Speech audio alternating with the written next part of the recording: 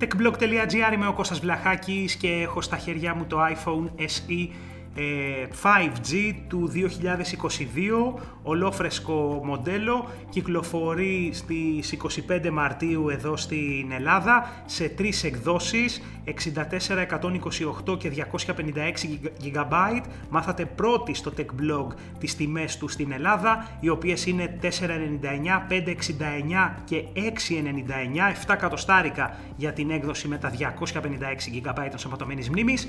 Ε, έχω στα χέρια μου το μαύρο χρώμα σε 64 GB.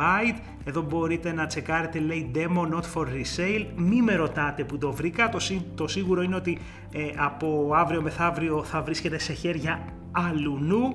Είμαι όμως εδώ, αυτό είναι το κινητό που θα κυκλοφορήσει ε, και στην Ελλάδα και είμαι εδώ για να κάνω το unboxing βίντεο πάντα παρέα με το μαγικό κοπίδι.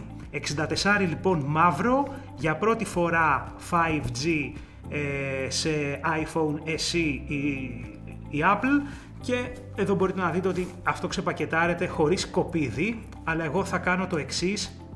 Από εδώ θα το βγάλω με το χέρι και από εδώ θα το κάνω με τον μαγικό κοπίδαρο πάμε να δούμε τι περιλαμβάνει μέσα η συσκευασία. Το κινητό θα περιλαμβάνει φυσικά, αλλά να μιλήσουμε και για κάποια τεχνικά χαρακτηριστικά.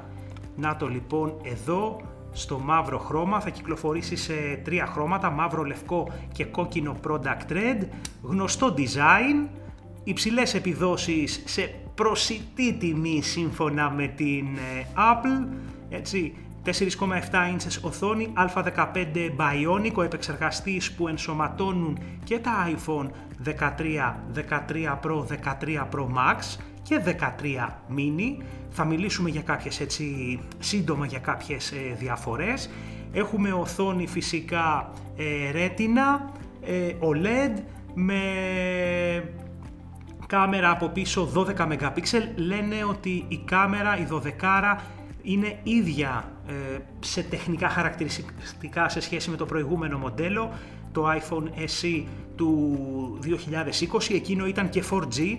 Ε, απλά εδώ πέρα έχουν προσθεθεί κάποιες νέες λειτουργίες ε, όπως Deep Fusion, κάποια νέα photographic styles, αλλά και Night Mode. Δεν είχαμε μέχρι σήμερα ε, Night Mode σε iPhone SE. Πάμε να το να βγάλουμε τη ζελατίνα του, μου αρέσει αυτό το σημείο σε κάθε unboxing και θα το αφήσω προσωρινά στην άκρη για να τσεκάρουμε τα υπόλοιπα μέσα. Φυσικά lighting connector, δεν υπάρχει φορτιστής και εδώ βλέπω ένα αυτοκολλητάκι, ένα γρήγορο notice και το πινάκι για ε, να βγάλετε το, το σιρταράκι. Μία κάρτα SIM και η SIM βέβαια, άρα μπορείτε να το δουλέψετε νομίζω αν δεν κάνω λάθος και με δύο κάρτες SIM. Ε, Touch ID εδώ πέρα και αυτό είναι το iPhone SE 2022 5G. Σε σχέση με το, να, να μιλήσουμε έτσι και κάποια στοιχεία σε σχέση με άλλα μοντέλα, να πούμε για το iPhone 13 mini το οποίο ε, κυκλοφόρησε πριν από μερικούς μήνες, είναι το πιο πρόσφατο iPhone 13, το mini όμως, εδώ πέρα έχουμε οθόνη LCD αντί για OLED, έκανα λάθος πριν, ε, LCD οθόνη αντί για OLED και Touch ID εδώ, αντί για Face ID που έχει το iPhone 13 mini, έτσι κάποια γρήγορα γρήγορα, γρήγορες γρήγορες διαφοροποιήσεις. Το, αυτό είναι το τρίτο κατά σειρά μοντέλο iPhone ε, SE. Την, την πρώτη φορά κυκλοφόρησε iPhone SE το 2016, εκείνο είχε οθόνη 4 inch Retina, α9 επεξεργαστή και 12 MP επίσης κάμερα. Μετά το 2020 ήρθε το επόμενο με 4,7 inches οθόνη, α13 Bionic επεξεργαστή και 1821 mAh μπαταρία. Εδώ πέρα έχουμε πάλι οθόνη με διαγώνιο 4,7 inches και ίδια selfie κάμερα ε, με το προηγούμενο μοντέλο στα 7 MP. Τώρα, τι, ποια είναι η διαφορά iPhone SE 2022 με 2020.